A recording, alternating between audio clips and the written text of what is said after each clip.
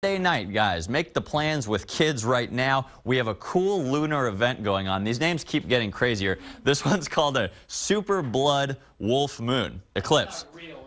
It's real. So wow. I had to dig into this. Let's talk about it. A supermoon, this is what you've heard of probably. It's when a full or new moon coincides with when the moon is closest to Earth in its orbit. So that makes the moon look a little bit bigger than it otherwise would. A blood moon, this is just an unofficial term for a total lunar eclipse. This, of course, is when the full moon goes directly through Earth's shadow, and that causes it to turn dark and also kind of a rusty orange or red color.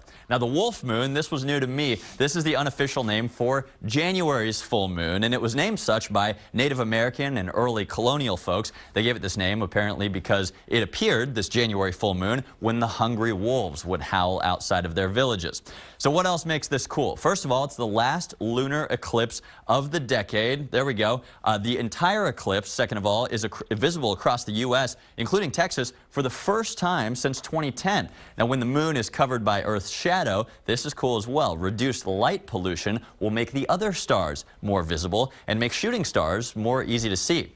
Let's talk about the timing. This is important, right? And it's not terribly late for the kids. This is all happening late Sunday night into early Monday morning. These are all Texas times. The partial eclipse begins at 8.36 p.m. Sunday night. The total lunar eclipse starts at 10.41 p.m. The peak, the whole moon is covered at 11.12 p.m. The total eclipse ends at 11.43. The partial eclipse ends, if you're still with us, at 1.48 a.m. on Monday. Now, lastly, this is important too. The local forecast looks great. We've got clear skies, but it will be cold, remember, 38 degrees or so in town. If you need all this information or especially those times again, I don't blame you. Check out our article here on the KXAN.com weather blog. Super blood Wolf Moon, guys. I like love it. Eight-year-old came up with that, like an eight-year-old boy. Super Blood Wolf Moon. So send us your pictures if you are up, and we will show it to you on Monday.